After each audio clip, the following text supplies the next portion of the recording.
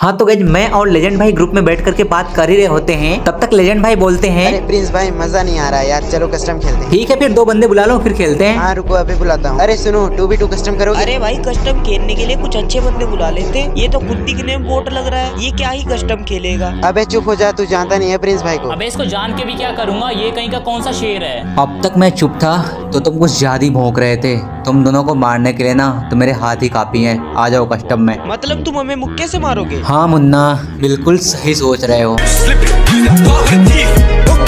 के ही आए के बार ने लव लेटर आके भेजा बंडल। तू रिबन में चॉकलेटा तेरा रहे सैलड की जगह थी बल्ले।